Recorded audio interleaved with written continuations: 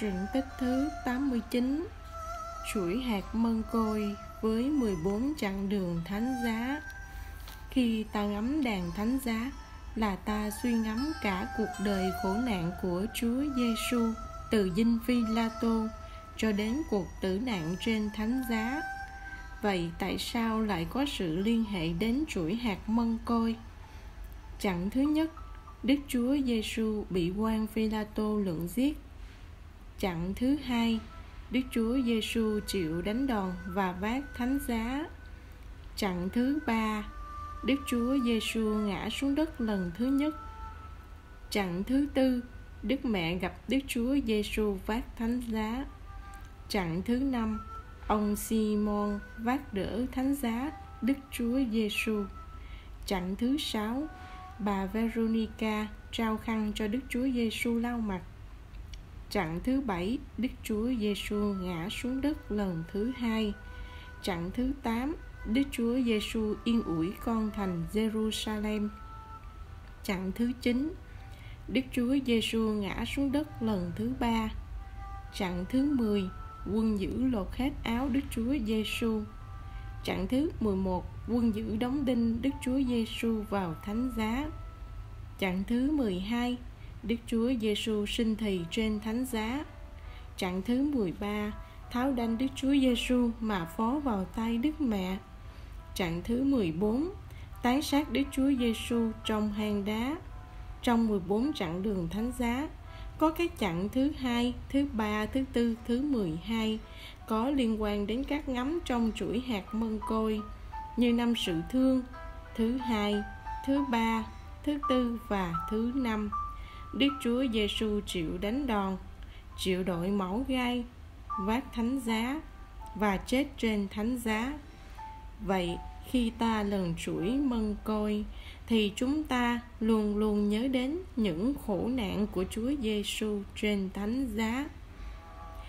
Nếu ai đã từng xem cuốn phim The Passion of the Christ của nhà đạo diễn Mel Gibson thì sẽ thấy có nhiều cảnh tượng tương đồng với năm ngắm sự thương. Khi thấy Đức Chúa Giêsu vào vườn Gethsemane mà cầu nguyện, mồ hôi máu chảy nhỏ xuống đất, thì ngắm thứ nhất, Đức Chúa Giêsu lo buồn đổ mồ hôi máu, ta hãy xin cho được an năn tội nên.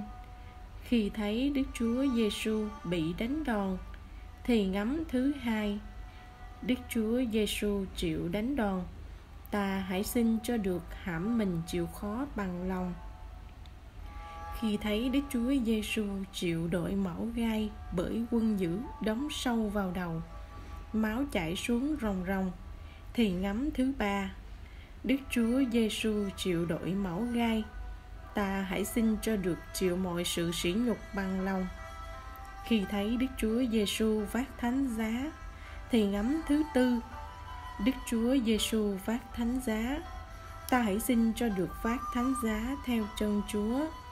Khi thấy Đức Chúa Giêsu chết trên thánh giá thì ngắm thứ năm.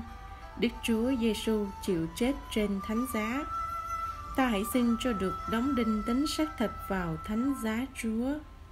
Như vậy khi ta lần chuỗi mừng coi năm sự thương thì cũng coi như chúng ta đang ngắm đàn thánh giá vậy. Đấy là những lý do mà chúng tôi trình bày chuỗi hạt mân côi có liên quan đến 14 đàn thánh giá.